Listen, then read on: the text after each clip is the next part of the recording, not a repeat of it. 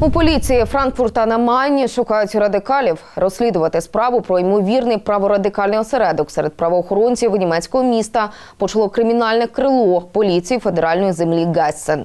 Наразі слідчі мають перевірити п'ятьох співробітників, щодо яких є підозри. Сумніви з'явилися після того, як в змі оприлюднили інформацію про погрози, які надходили на адресу адвоката, яка представляла інтереси жертв неонацистського групування Націонал-соціалістичне підпілля.